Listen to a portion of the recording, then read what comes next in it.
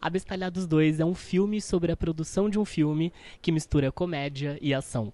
Ocorre hoje a pré-estreia aqui em São Paulo e viemos conferir tudo de perto. O filme, ele acaba criticando o próprio meio cinematográfico. Você acredita que isso surge de um incômodo ou de uma necessidade de revisão do próprio meio? Ah, eu acho que é de vivência nossa que faz na guerrilha, que faz sem dinheiro, que corre atrás. É, é uma crítica, mas é um alerta. É uma forma também de mostrar para quem não sabe, para quem não conhece, não, não sabe o que é o bastidor de um cinema, né? Não é nem um pouco fácil, é bem complicado. E, além de tudo, que mostra muita paixão, né? Isso é que é bacana. Eles apaixonados fazendo do jeito que dá para fazer. Você, deu a última resposta, acho que você foi categórico. Acho que é uma revisão do próprio meio, né? Tanto que eles citam o, o, o lance do Bechadel, né? Que é o, toda essa resolução em relação ao machismo e, e traz outras cargas também. E é divertido falar do cinema de uma maneira é, bem humorada e utilizando a ação. Eu acho que para as pessoas que não conhecem o meio de cinema, ter a oportunidade de conhecer os bastidores é, é muito importante também para a gente se ver numa outra, de uma outra maneira numa tela grande também. Eu acho que as duas coisas, né? A gente começou escrevendo um filme sobre quatro caras que iam fazer um filme de ação. E aí a gente caiu nesse lugar de quatro caras héteros, brancos, né? Então a gente pensou, putz, por que não usar esse filme para discutir essa coisa entre um cinema antigo e um cinema novo que precisa surgir, né? Uma que está surgindo, mais diverso, né? E, e, por isso que a gente também colocou a, a, né, a Silvia, é a, a, mulher mais poderosa do filme é uma mulher, né, preta, que é a Cris Viana interpreta muito bem, né? A Natalie que faz a personagem que eu considero a protagonista, que é a Glória, que é quem faz o, né? Não posso dar spoiler, mas a gente teve todas essas questões pensadas para falar, caramba, eles são caras que representam um pouco também uma coisa, uma forma mais antiga de pensar o cinema, e eles vão, por conta disso, batendo cabeça e, e tomando, né, é, enfim, alguns choques de cultura, né, com, com o perdão do trocadilho, para, enfim, aprenderem, talvez se desconstruírem ao longo do processo, né. Cara, eu acho que é uma missão hercúlea fazer cinema no Brasil. É, não para as grandes produtoras, mas para as médias e pequenas produtoras é uma missão dificílima. Eu acho que esse filme fala um pouco disso, com bom humor, né? É, eu venho de uma escola de Faça Você Mesmo, que é o Hermes e Renato, e muitos outros do elenco principal aqui do filme também. O Paulinho vem de um teatro é, que é sempre Faça Você Mesmo, mas também vem do, do ambiente da comédia, vamos dizer assim, de baixo orçamento lá com comédia MTV. Os caras do Choque, Raul e Leandro, também são dessa escola. Então acho que tem a ver o roteiro com esses personagens e as pessoas que estão envolvidas nesse elenco principal. Tem a ver também com, as, como eu já falei, dessa difícil missão de se filmar no Brasil. Cara, eu acho que o filme nasce de uma, de uma é, é, é, tentativa. É, o, o, filme é uma comédia, né? Então acho que o objetivo principal dele é contar uma história e fazer rir. É lógico que a, a, os roteiristas, a gente, a gente vem desse meio, então a gente já é acostumado com, vamos, vamos dizer assim, a, as inconsistências, os defeitos, os problemas desse, desse lugar. Eu não diria que ele tem um, que ele tem um, ele tem, vamos, vamos, vamos dizer assim, a pretensão de corrigir alguma coisa. Mas que ele tem pretensão, mas que ele pretende apontar e rir, com certeza, é, é, esse é um dos, dos objetivos do filme. E como toda, como todo meio, como toda profissão, como todo ambiente de trabalho, ele, ele é um lugar satirizável, né? E, e, pode ser feito comédia. Acho que a comédia pode ser feita a partir de, de, de qualquer coisa. E o cinema também é matéria-prima para a comédia, né? O fazer cinematográfico. Cara, eu acho que é uma mistura dos dois com uma pitadinha de desespero, talvez.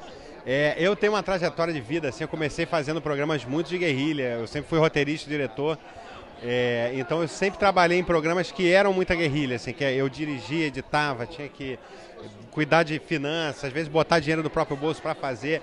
Então, para mim, é um misto de homenagem à minha própria trajetória, assim, no sentido de ter me preparado a vida inteira para fazer esse papel. Quem pensa que vocês gravaram agora, há pouco tempo, tá enganado, porque faz algum tempo. Faz, e o cinema é uma arte, né? Então tem todo o seu tempo de preparo. Nós gravamos em março de 2020, veio a pandemia, deu uma quebra e a gente finalizou as gravações em setembro de 2020. Então foram dois anos aí de muita espera e de, né, um capricho sem igual. E eu fiz uma pergunta para a parte do elenco e falaram para perguntar para você.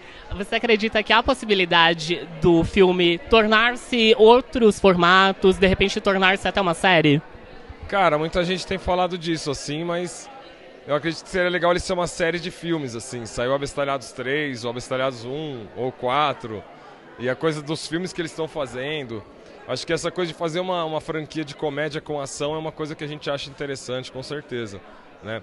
Acho que série é legal, mas talvez ter uma sequência de filmes de ação com comédia seria bem interessante também. A experiência que você teve com o filme, o quanto vai ao encontro das suas próprias experiências? Olha, o filme Abestalhados 2 é meu primeiro longa-metragem. Eu já tinha vindo de outras experiências com séries e é, televisão, cine, novela. Estou gravando uma série para TV.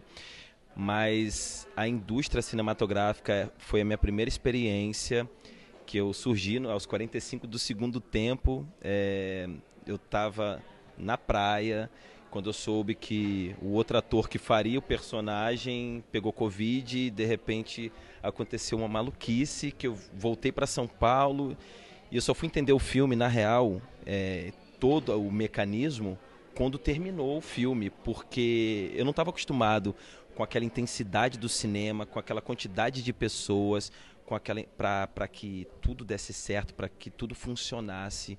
Então foi uma experiência muito positiva. Eu me senti muito acolhido nessa primeira experiência no audiovisual. A gente tenta encontrar, eu pelo menos faço desse jeito muito, bastante.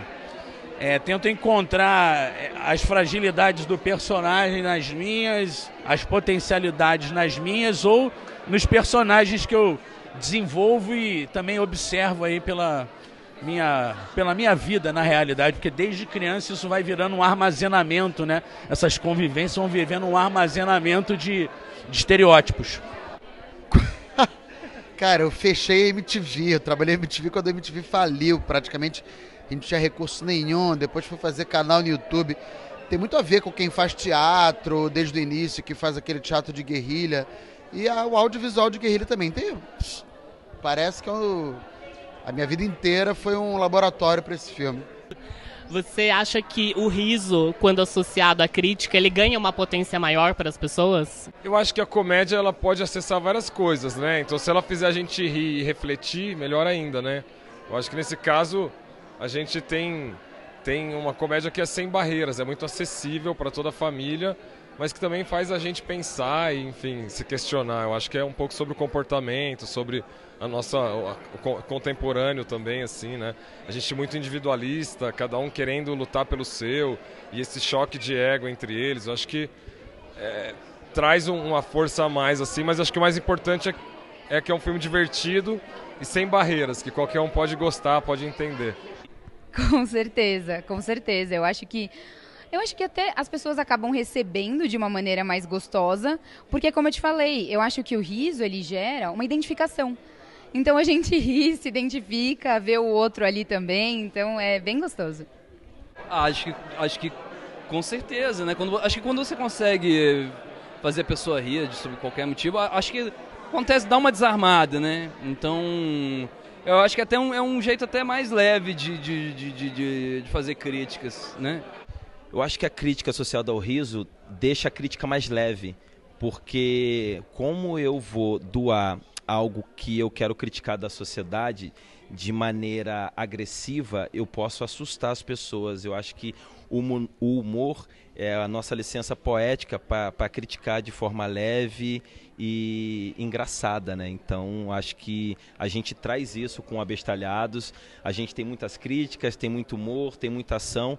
Eu acho que filme igual a esse, acho que ninguém viu ainda, porque misturar comédia com ação é uma coisa, uma experiência nova, acho que para todos nós. Eu acho que sim, cara. Eu acho que ela te tira da, de uma área de conforto. Eu acho que o humor ele, ele é isso, né? Ele é uma sátira dos mais poderosos sempre. É, eu não sei, eu acredito muito na potência do humor, sabe? Como, como agente de transformação. Então eu acho que talvez, sim. A, a, a comédia ela é para isso, né? Ela serve, os quadrinhos falavam que a comédia é tão boa que ela às vezes serve até para fazer rir. Porque serve para um monte de coisa. A nossa ideia é essa, é incomodar mesmo, gerar ali uma uma uma crítica positiva. Quando você está rindo, você leva boas lembranças, então nada melhor do que isso.